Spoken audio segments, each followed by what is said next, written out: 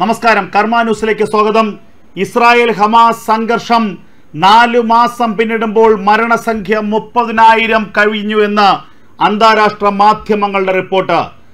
ലോകാരോഗ്യ സംഘടന നൽകിയ ഏറ്റവും പുതിയ കണക്ക് പ്രകാരമാണ് മുപ്പതിനായിരത്തോളം പേർ ഗാസയിൽ യുദ്ധത്തിൽ കൊല്ലപ്പെട്ടു എന്നുള്ള വിവരങ്ങൾ പുറത്തു വരുന്നത് കൊല്ലപ്പെട്ടവരിൽ അധികവും യുവതികളും കുട്ടികളുമാണ്. പരിക്കേറ്റവരുടെ എണ്ണം ഒരു ലക്ഷം കവിയുമെന്നുള്ള വിവരങ്ങൾ പുറത്തു വരികയും ചെയ്യുന്നു. നിരവധി പേർക്ക് സാരമായി പരിക്കേറ്റിരിക്കുന്നു. യുദ്ധം ഇനിയും തുടരുകയാണെങ്കിൽ കൊടിയ ദുരിതമായിരിക്കും ഗാസയിൽ നേരിടേണ്ടി വരികയെന്നുള്ള മുന്നറിയിപ്പാണ് ലോകാരോഗ്യ സംഘടന തന്നെ വ്യക്തമാക്കുന്നത്. ഈജിപ്റ്റ് അതിർത്തിയിലൂടെയുള്ള ഭക്ഷണ വെള്ള വിതരണം താറുമാറായിട്ട് എട്ട് ദിവസമായിരിക്കുന്നു. ഭക്ഷണവും വെള്ളവും മരുന്നുമില്ലാതെ റഫയിൽ പതിനഞ്ച് ലക്ഷത്തോളം അഭയാർത്ഥികൾ തിങ്ങിക്കഴിയുകയാണ്. ഏറ്റവും പ്രധാനപ്പെട്ട ചില റിപ്പോർട്ടുകൾ പുറത്തു വരുന്നത് റഫയിൽ കഴിയുന്ന അഭയാർത്ഥികളായി കഴിയുന്ന മുപ്പത് ശതമാനത്തിലധികം വരുന്ന കുട്ടികൾക്ക് കടുത്ത പോഷകാഹാരക്കുറവുണ്ടെന്നാണ്. കുട്ടികൾക്ക് രണ്ടു നേരം പോലും നേരാവണ്ണം ആഹാരം ലഭിക്കുന്നില്ല ആവശ്യത്തിന് വെള്ളം ലഭിക്കുന്നില്ല മരുന്നുകൾ ലഭിക്കുന്നില്ല എന്നുള്ള വിവരം പുറത്തു വരികയാണ്. അത് എത്രയും വേഗം അഭയാർത്ഥികൾക്ക് ആവശ്യമായ ഭക്ഷണവും വെള്ളവും മരുന്നും എത്തിക്കാനുള്ള നടപടികൾ എടുക്കണമെന്ന് ഐക്യരാഷ്ട്രസഭയും ലോകാരോഗ്യ സംഘടനകളും പല രാജ്യങ്ങളോടും ആവശ്യപ്പെട്ട് കഴിഞ്ഞിരിക്കുന്നു. ഈജിപ്റ്റ് അതിർത്തി വഴിയുള്ള ഭക്ഷണ വിതരണവും മരുന്ന് വിതരണവും തടസ്സപ്പെട്ടിട്ട് ദിവസങ്ങളേറെയായി. റഫ അതിർത്തിയിലേക്ക് ആക്രമണത്തിന് സജ്ജമായി നിൽക്കുന്ന ഇസ്രായേലി സേനയെ ഭയന്നാണ് ട്രക്കുകളിലൂടെയുള്ള സഹായ വിതരണം നില നില നിർത്തിവച്ചതെന്ന് ഈജിപ്തും അതുപോലെ തന്നെ പാലസ്തീനും ഒക്കെ ആരോപിക്കുന്നുണ്ട്. റഫയിലേക്ക് റോക്കറ്റ് ആക്രമണം പല ഘട്ടങ്ങളിലും നടക്കുകയാണ്. ഗാസയുടെ വിവിധ പ്രദേശങ്ങളിൽ ഹമാസിനെതിരെയുള്ള യുദ്ധം അതിരൂക്ഷമായി തുടരുകയാണ് ഇപ്പോഴും ഇസ്രായേൽ സേന. ഈ സാഹചര്യത്തിൽ ജീവൻ പണയം വെച്ചുകൊണ്ട് ആരും തന്നെ ആ പ്രദേശത്തേക്ക് പോകാൻ തയ്യാറല്ലാത്തത് കൊണ്ടാണ് ഭക്ഷണ വിതരണവും വെള്ളം വിതരണവും മരുന്ന് വിതരണവും തടസ്സപ്പെട്ടതെന്ന് ഈജിപ്റ്റ് തന്നെ വ്യക്തമാക്കുന്നു. ഈജിപ്റ്റ് അതിർത്തിയിൽ നൂറുകണക്കിന് ട്രക്കുകൾ കെട്ടിക്കിടക്കുന്നതായി അന്താരാഷ്ട്ര മാധ്യമങ്ങൾ തന്നെ റിപ്പോർട്ട് ചെയ്യുന്നുണ്ട്. ഈ ട്രക്കുകളിലൊക്കെയും ഭക്ഷണവും വെള്ളവും മരുന്നുമൊക്കെയാണ്. ഇവ റഫ അതിർത്തി കടന്ന് ഗാസയിലെത്തണമെങ്കിൽ ഇസ്രായേലിന്റെ അനുമതി വേണം. ഇസ്രായേൽ എന്നാൽ അത്തരത്തിൽ അനുമതി നൽകുന്നില്ല എന്നുള്ള വിവരങ്ങൾ പുറത്തു വരികയാണ്.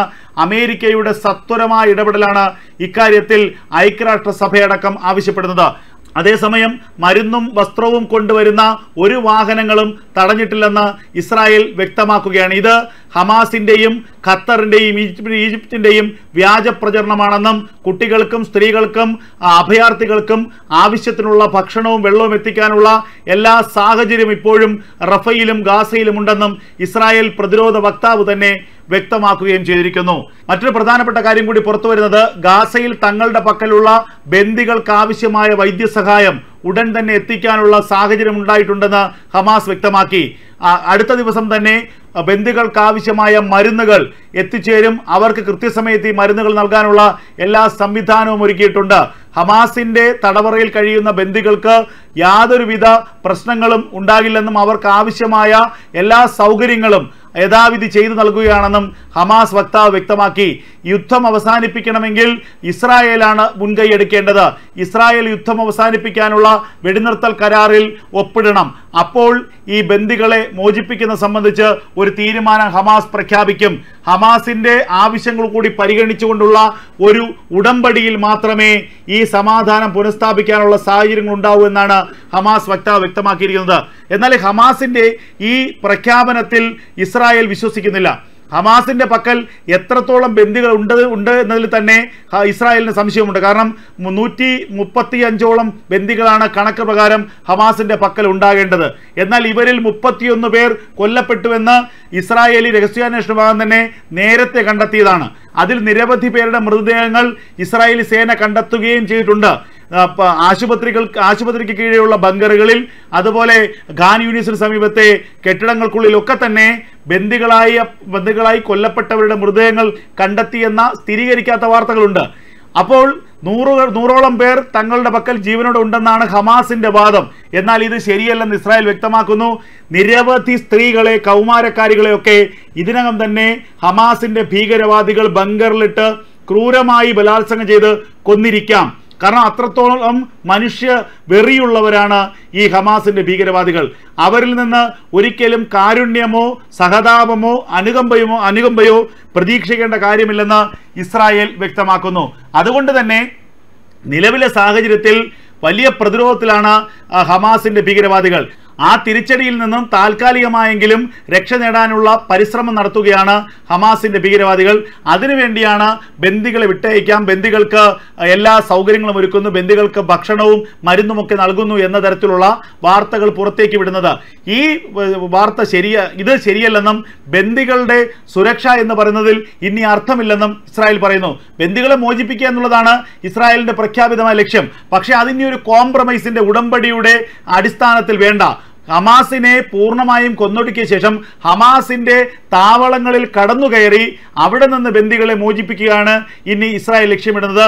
ആ ലക്ഷ്യത്തിലേക്ക് വളരെ വേഗം കടന്നു വരികയാണ് ഇസ്രായേൽ എന്ന് ഇസ്രായേൽ പ്രധാനമന്ത്രി ബെഞ്ചമിൻ നെതന്യാഹു തന്നെ വ്യക്തമാക്കുകയാണ്. അതുകൊണ്ടാണ് വിജയത്തിന് തൊട്ടരികെ നിൽക്കുന്ന ഒരു സമയത്ത് ഇനി വെടിനിർത്തൽ എന്ന ഒരു കരാറിലേക്ക് പോകണ്ട എന്ന് ഇസ്രായേൽ തന്നെ തീരുമാനിച്ചിരിക്കുന്നത്. റഫ അതിർത്തിയിൽ യുദ്ധം നട റഫ അതിർത്തിയിൽ പരിപൂർണമായ യുദ്ധം ആരംഭിക്കുന്നതിന് ചില നിബന്ധനകൾ ചില ചില സമയപരിധികൾ ഇസ്രായേൽ മുന്നോട്ട് വച്ചിരുന്നു. ആ സമയപരിധി അവസാനിച്ചിരിക്കുന്നു. ബന്ദികളെ നാൽപ്പത്തെട്ട് മണിക്കൂറിനകം വിട്ടു നൽകണമെന്നതായിരുന്നു. രണ്ട് ദിവസം മുമ്പ് ഇസ്രായേൽ മുന്നോട്ട് വെച്ച നിബന്ധന. ആ സമയപരിധി അവസാനിച്ചിരിക്കുന്നു. നാൽപ്പത്തെട്ട് മണിക്കൂറിനുള്ളിൽ ഹമാസിന്റെ പക്കൽ ജീവനോടെയുള്ള മുഴുവൻ ബന്ദികളെയും വിട്ടു നൽകിയില്ലെങ്കിൽ മാർച്ച് മാസം പത്താം തീയതി റഫയെ ആക്രമിക്കുമെന്നായിരുന്നു ഇസ്രായേലിന്റെ പ്രഖ്യാപനം. അത് നടക്കുക തന്നെ ചെയ്യുമെന്നതിൽ യാതൊരു സംശയവുമില്ല. കാരണം മാർച്ച് മാസം പത്താം തീയതിയാണ് റംസാൻ വ്രതാരംഭം ആരംഭിക്കുന്നത്. അത് മുസ്ലിം ജനവിഭാഗത്തെ സംബന്ധിച്ച് അറബ് ജനതയെ സംബന്ധിച്ച് ഏറ്റവും പവിത്രമായ ഒരു ദിവസമാണ്.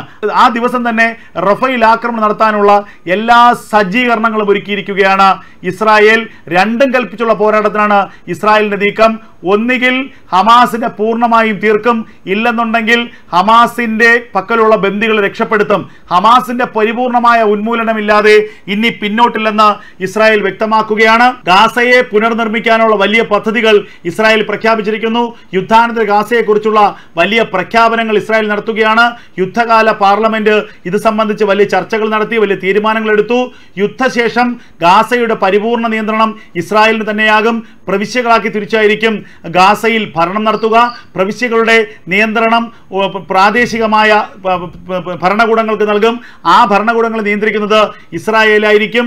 ഈജിപ്റ്റുമായിട്ടുള്ള റഫ അതിർത്തി പൂർണമായും അടയ്ക്കും. പരമാവധി പാലസ്തീനികളെ ഗാസയിൽ നിന്നും പുറത്താക്കും. എല്ലാ തരത്തിലുമുള്ള സുരക്ഷാ സംവിധാനങ്ങൾ അവിടെ ഉണ്ടാകും. അവസാനത്തെ ഹമാസ് തീവ്രവാദിയെ കൊന്നൊടുക്കുന്നത് വരെ ഇസ്രായേലി സൈന്യം ഗാസയിൽ തമ്പടിക്കും. അതിനുശേഷം ഗാസ മുനമ്പിലായിരിക്കും ഇസ്രായേലി സേനയുടെ സൈനിക താവളം ഉണ്ടാക്കുക എപ്പോഴും നിതാന്ത നിരീക്ഷണത്തിലായിരിക്കും. ഇസ്രായേലി സേനയുടെ നിതാന്ത നിരീക്ഷണത്തിലായിരിക്കും ഗാസ. ഇസ്രായേലി സേനയുടെ ചാരക്കണ്ണുകൾക്കുള്ളിലായിരിക്കും ഗാസ പ്രവർത്തിക്കുക. ഗാസയെ പൂർണമായി ഹമാസ് മുക്തമാക്കുക. ഹമാസിന്റെ പുൽനാമ്പുകൾ പോലും ഇനി ഗാസയുടെ മണ്ണിൽ പൊടിക്കരുത്. ഇതാണ് ഇസ്രായേൽ ലക്ഷ്യമിടുന്നത്. ഇതിന് അറബ് രാജ്യങ്ങൾ സമ്മതം നൽകുമോ എന്നുള്ളതാണ് ഇനി കാത്തിരുന്ന് കാണേണ്ടത്. അറബ് രാജ്യങ്ങളുടെ ലക്ഷ്യം എന്താണ് ചിന്ത എന്താണ് എന്നുള്ളത് ആർക്കും അറിയില്ല. യുദ്ധാനന്തര ഗാസയെ സംബന്ധിച്ചുള്ള വലിയ പദ്ധതികൾ പ്രഖ്യാപിക്കുകയാണ് ഇസ്രായേൽ. അതായത് ഇനി ഒരിക്കലും ഗാസയിൽ നിന്നും ഇസ്രായേലിലേക്ക് ഒരു ആക്രമണമോ ഭീഷണിയോ ഉണ്ടാകരുത്. ഗാസയിലെ ജനങ്ങളിൽ നിന്ന് അല്ലെങ്കിൽ ഗാസയിലെ ഹമാസ് തീവ്രവാദികളിൽ നിന്ന് ഇസ്രായേലിന് തരുമ്പും ഭീഷണി ഉണ്ടാകരുത് എന്ന ലക്ഷ്യത്തിലേക്ക് അടുക്കുകയാണ് ഇസ്രായേൽ സർക്കാർ.